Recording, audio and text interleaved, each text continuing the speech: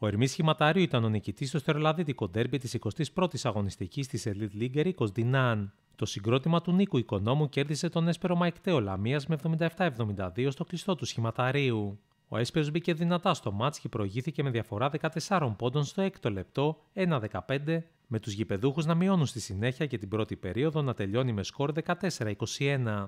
Με τρίποντο του Γερομιχαλού στο ξεκίνημα του δευτέρου δεκαλέπτου, ο Ερμής μείωσε στους 4 πόντους 17-21, με τον Έσπερο να αντιδρά και να φτάνει στο συν 9 21-30 στο 13. Οι γηπεδούχοι πήραν τα ενία και μείωσαν στον πόντο 32-33 στο 17, με την ομάδα της Λαμίας να πηγαίνει στα ποδητήρια για το ημίχρονο έχοντας προβάδισμα 4 πόντων 39-43. Ο Ερμής προηγήθηκε για πρώτη φορά στο παιχνίδι στο 27 με 47-45 και διατήρησε ένα μικρό προβάδισμα στη συνέχεια, με το τρίτο δεκάλεπτο να ολοκληρώνεται με σκορ 52-48. Η τελευταία περίοδος ήταν αμφίροπη με τις δύο ομάδες να είναι κοντά στο σκορ. Με τρίποντο του Μιτσιμπόνα η ομάδα του Νίκο Οικονόμου προηγήθηκε με 66-64 και 58 πριν τη λήξη. Με ένα σερί 0-5 ο Έσπερος μείωσε στον πόντο 66-65 στο 36. Ο Ερμής έφτασε στο συν 7 76-69 στα 55 δευτερόλεπτα πριν τη λήξη και κατάφερε να διατηρήσει μέχρι τέλους το προβάδισμά του για να φτάσουμε στο τελικό 77-72. Κορυφαίοι για τους νικητές ήταν Γερομιχαλός, Γκοτσούκου και Μπράιαντ με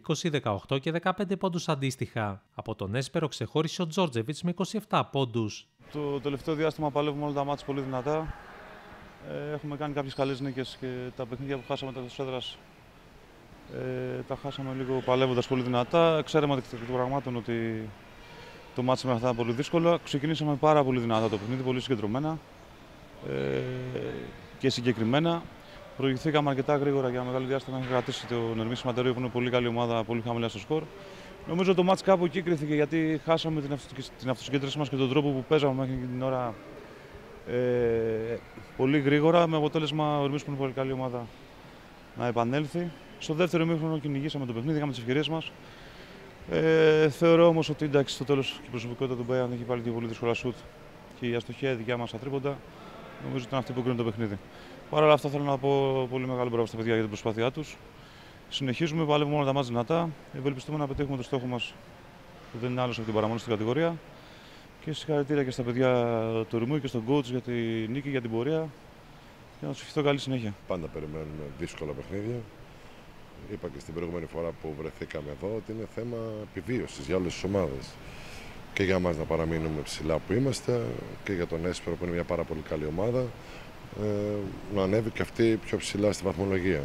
Συγχαρητήρια στους παίχτες, δείξαν πραγματικά ψυχή στο, στο δεύτερο ημίχρονο. Νομίζω ότι μπήκαμε πάρα πολύ χωρίς κάποιο λόγος πολύ νοθροί στην άμυνα. Νομίζω το σκόρ είχε φύγει 15-16 πόντους στην αρχή. Είπαμε κάποια πράγματα να αλλάξουμε στο ημίχρονο, γιατί ο Τζόρτζ μας είχε κάνει τρομερή ζημιά στο, στο πρώτο ημίχρονο. Στο δεύτερο ημίχρονο νομίζω ότι όσο μπορούσαμε τον περιορίσαμε. Ε, συγχαρητήρια στα παιδιά. Ε, έχουμε δρόμο ακόμα, βλέπουμε ότι όλοι χάνουν από όλους. Το έχουμε ξαναπεί αυτό το πράγμα. Ένα πολύ όμορφο πρωτάθλημα. Συγχαρητήρια στην ομάδα του, του Έσπερ Λαμίας. Ήταν πάρα, πάρα πολύ ανταγωνιστική, πάρα, πάρα πολύ καλή. Έτσι θα είναι όλο το παιχνίδι τώρα πάμε την άλλη εβδομάδα στην Ελευθερούπολη. Δεν υπάρχει κάποιο εύκολο παιχνίδι για κανέναν. Το να παίζεις τρία παιχνίδια σε μια εβδομάδα είναι αρκετά βαρύ για, όχι μόνο για εμά, αλλά για όλες τις ομάδες. Όλες τι ομάδες το ίδιο είναι. Έτσι. Ε, το έχουμε ακόμα μία φορά. Δηλαδή, αν πηγαίναμε στον Ηρακλή με λίγο παραπάνω ξεκούραση, αντίστοιχα εδώ είναι δύσκολο. Έτσι. Είναι δύσκολο να το χειριστείς. Δεν έχουμε και τα πολύ μεγάλα ρόστερ. Ε, αυτό μας το κάνει πιο συναρπαστικό. Συγχαρητήρια και πάλι στα παιδιά, γιατί η αντίδραση ήταν πάρα, πάρα πολύ σημαντική στο δεύτερο ημίχρονο. Καλή συνέχεια στην ομάδα του Εσπέρου. Αξίζει και με το παραπάνω να είναι στην κατηγορία αυτή και εύχομαι ο καθένας να πετύχει τους στόχους του.